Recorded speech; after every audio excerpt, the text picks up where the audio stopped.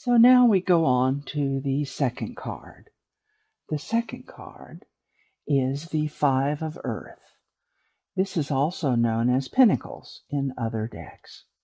It's a gathering strength, preparing, delaying, building endurance, a time of preparing to expand. And then there's my favorite numbers. The number five. The number five is all about alignment. This is where visions, dreams, and aspirations meet reality. Five represents the point where an idea meets what's actually possible. Decisions are made about what to keep and what to let go of. Then we have the elephants. The elephant symbol is about being well grounded, physical strength, community, family. And then here we go with the circle again. It's about emotion, continuity, inclusiveness, and wholeness. Now, if you notice, we have the trees here. The trees also, in this particular card, represent the seasons. We have spring, which is about new beginning, growth, increase, opportunity, and youth. We have summer, which is about ripeness, increase, opportunity, harvest, and young adult. We have autumn and fall, which is about maturity and harvest and reduction and middle aged adult. Then we have winter, which is about maturity, rest, stillness, and elder. Now, trees in general, when you find them on cards, are about a grounding, a sense of place, belonging, shelter, healing.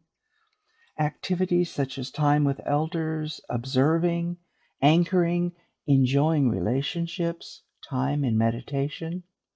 Some of the attributes associated with trees are about being secure, solid, well grounded, and predictable. Now, there could be some issues with movement, relocation, or releasing the past if you have trees show up in your cards. You could also have some health challenges, skin, feet, and mobility. And of course, there's the ever popular careers such as forestry, community development, farming, family counseling, and mediation. So there's some of the energies around the five of earth, known as pentacles in other decks. Now let's just go ahead and continue on with the third card in this series. This is the Mystic of Bridges. This is dreaming, imagining, receiving inspiration, fantasizing. It's also a time of openness to the unknown future. And we have the color lavender and purple, which is about spiritual awareness. We have orange, which is about passion and decisive action. We have blue, which is about emotions, love, relationship.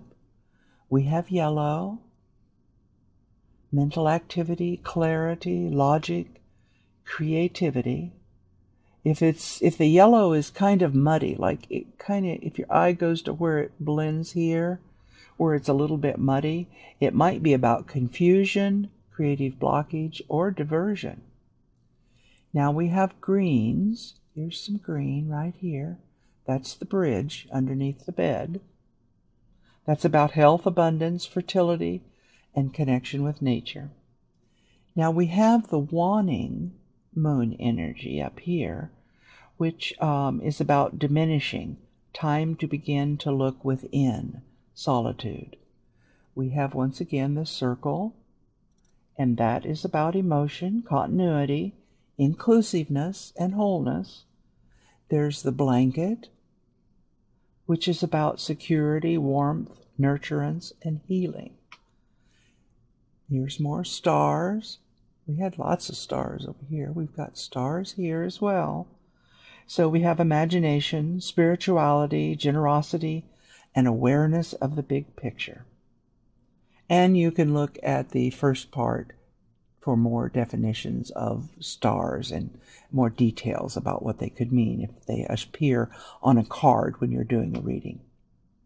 So we have a sleeping figure, which is relaxation, rest is needed, using dream time to support growth. And then we have also a road, a path, or the bridge is about an indication of direction, movement, and exploration. So those are the symbols on these three particular cards. You will find all of this information in the uh, Symbols of Tarot directory, or dictionary rather, um, and it's a part and included in The Fool, the Empress, and the Magician, Laughing Womyn's Complete Tarot Reading Course. And remember what I told you before, it's available in ebook for like $3.99. That's like $3.99. So let's get on to what these three cards together would mean just in a general reading.